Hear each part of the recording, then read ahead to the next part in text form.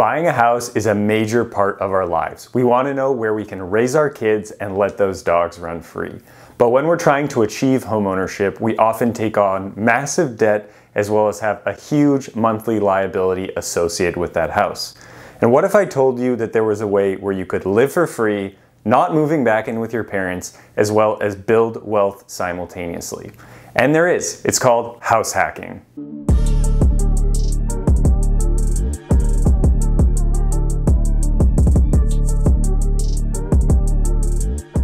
What's up guys, it's Avery here. If this is your first time to the channel or if you're returning and you haven't hit that subscribe button yet, go ahead and do so.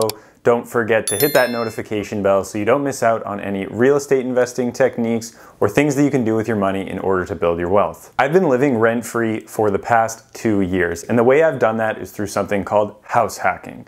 House hacking is an awesome way to lower your largest monthly expense of housing. And there are multiple ways that you can lower your expenses, and the best way is house hacking, and the second best way is smashing the like button. House hacking is awesome because it not only allows you to have a place to live, it offers you tax benefits, it gives you more money freed up so that you can use it to invest in more things, as well as it gives you an investment property once you decide to move out. House hacking is a really simple concept. Essentially, you're gonna go buy a residential building, a condo, a single family, or a two to four unit multifamily building. And once you've bought that building, you're gonna move in, similar to how we would think when you go buy a house. But you're not only just gonna move in yourself, you're also going to rent out all of the excess space, which would include all of the excess units in a two to four unit multifamily building, or any of the excess bedrooms in a single family or condo, and you could even rent out the excess bedrooms in that unit that you're living in within the multifamily building. If you wanted to be really aggressive doing this strategy, you could not only rent out the excess units and the excess bedrooms, but you yourself could live in the couch on the living room and rent out that extra bedroom so you could get even more income during this period of your life where you want to make extra money and really lower that housing payment so you can excel yourself financially and hit that financial freedom goal a lot quicker. People choose house hacking as a way to get into real estate investing because it offers a low monthly down payment. So ways that you can get into your first building with a low monthly down payment would be one, through an FHA loan. An FHA loan allows you to get in using 3.5% down, whereas if you were buying a traditional investment property, you would have to put 25% down. Now, in an expensive market like the one I live in myself of Boston, 3.5% versus 25% on a down payment can be hundreds of thousands of dollars so this makes it a lot easier to purchase a home. And certain people may qualify for other loans, like a USDA loan or a VA loan, and those can offer you 0% down payments in order to get into some of these homes so you can start building your wealth. So it's really that simple, and I've been doing this the last two years. I bought a two unit building at 3.5% down, and then a year later, I bought a three unit building at 3.5% down, and I lived in that first building for a year, and now it's a full investment property and I've almost lived in the second building for a full year and I will soon turn it into a full investment property. Now you could have a fairly similar strategy to me where you live in there for a year, which is required by these low down payment loans, and then move out immediately. Or if you wanted to, you could just buy that duplex, that three family, that four family, and have that be your home for a long time where you're still going to be getting a lot of these benefits, including rental income, tax benefits, and a house for free.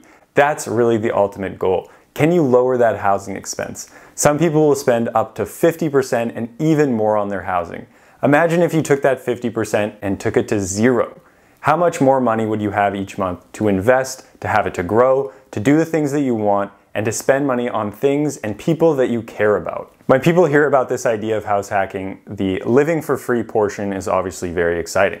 Now, some people may view it as a sacrifice because you're not living in that perfect dream home that you want, but you're in a multifamily building and you have tenants to worry about, or you're in a single family or condo and you have a roommate when you would rather just be able to live with yourself or live with your family and no one else. Now, this to me is not a crazy sacrifice. And if you're young and you have no real responsibilities, it's something that you should 100% do.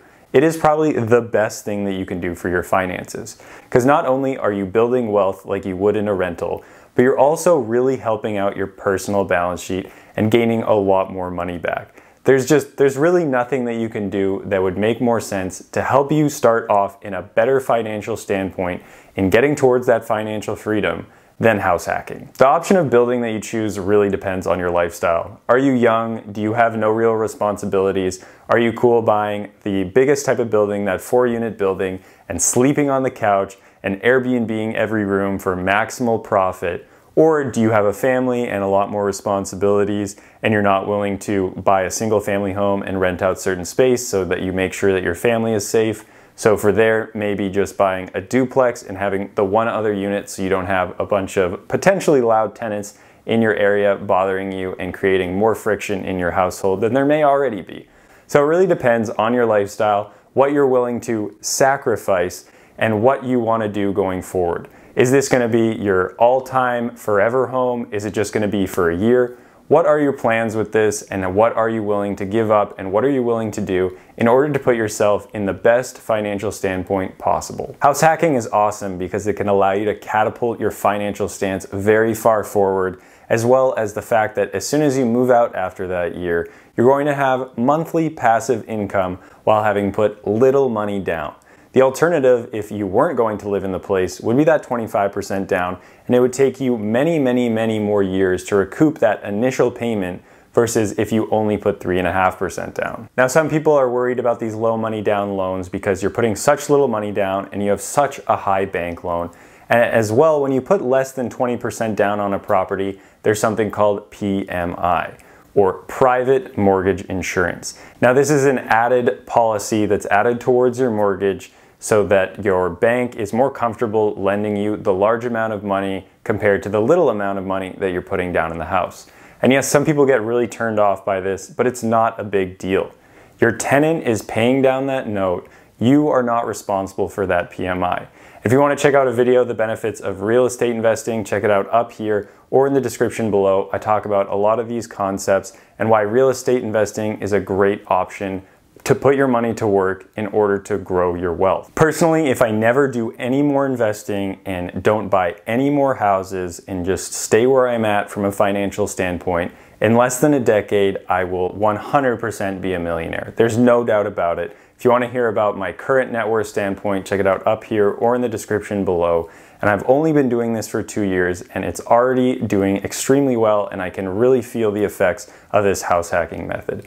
So I truly and really recommend this for anyone who's willing to do it. I hope this video motivates you guys to go buy that house, to start living for free, and to start building massive wealth.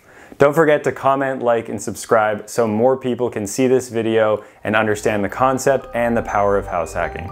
Thanks again for watching and hope to see you guys next time.